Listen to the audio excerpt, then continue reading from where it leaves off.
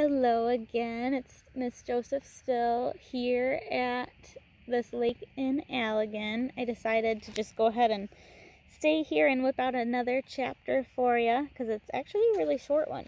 So this is chapter 10. There is a little sneak peek. This is The White Giraffe by Lauren St. John. And there's that beautiful view. And I will get to reading. Back in her room, Martine fell into an exhausted sleep.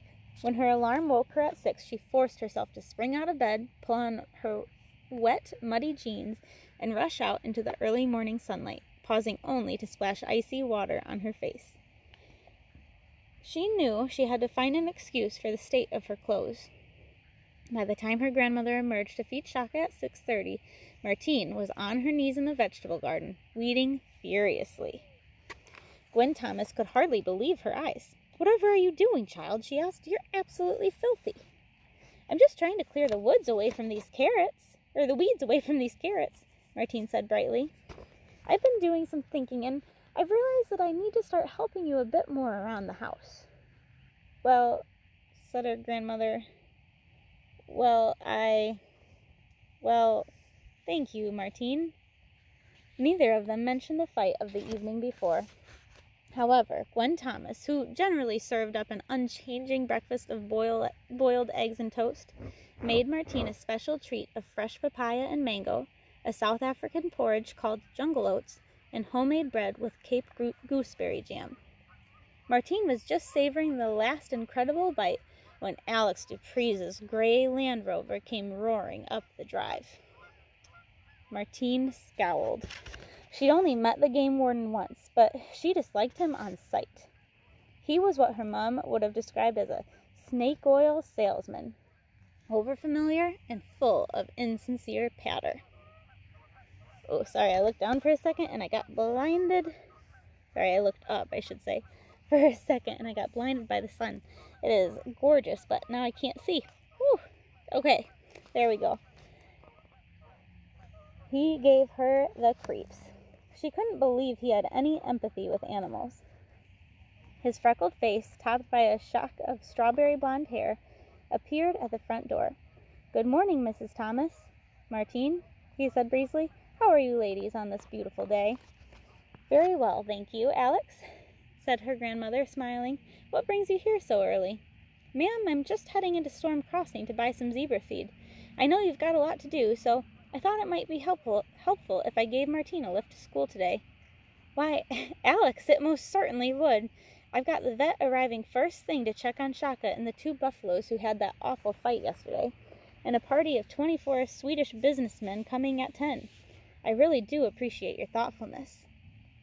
Wait a moment while I get her packed lunch. Martine's heart sank. She trailed out of the door after Alex's stocky frame.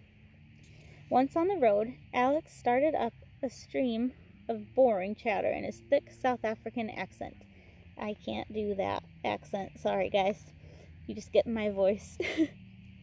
Martine, who wanted nothing more than to lose herself in a dreamy reverie about her encounter with the white giraffe the previous night, he'd followed her and rested his satiny head on her shoulder, gave him a series of one word answers, but it didn't seem to discourage him. You're a smart little thing, aren't you? he said as they stopped at the single traffic light in Storm Crossing. I bet you're much better than I was at schoolwork. I'm eleven, Martine said rudely. Don't talk to me like I'm a five year old. A sly look came across Alex's face. Okay, he said, if that's the way you want to play it. You haven't by any chance come across a white giraffe at Sawubona, have you, Martine? Martine did her best to keep the shock from showing on her face. The white giraffe doesn't exist, she answered. Everybody knows that. Alex put his hand in his pocket and took out Martine's precious flashlight. He threw it on the cracked leather seat beside her. She itched to pick it up, but didn't dare.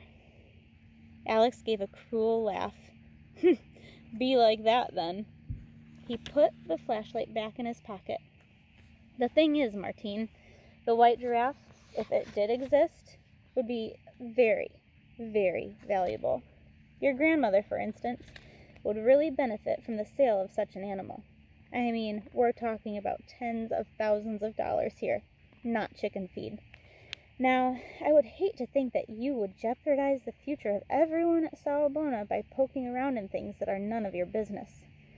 How do you think your grandmother would feel about that? Martine was livid. How dare he talk about Jemmy as if he were just another animal to be hunted down and turned into money?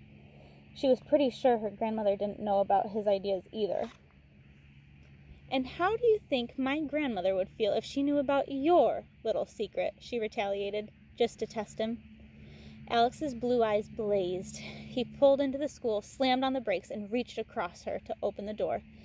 My girl, he said, you are playing with fire now. He smiled grimly. And you know what happens to people who play with fire. Martine tried to be strong until she was out of the jeep, but as soon as she turned away from him, the tears began to pour down her face. His laughter followed her all the way across the schoolyard. Whew! That was a short but very crazy chapter. My goodness. All right, here is a sneak peek at chapter 11, and I will read that at some point here in the next few days. I hope that you guys enjoyed chapter 10, but my goodness, that was that was intense. Whew. All right. Have a have a very great night everybody. Um, I can't wait to read with you guys again. Bye.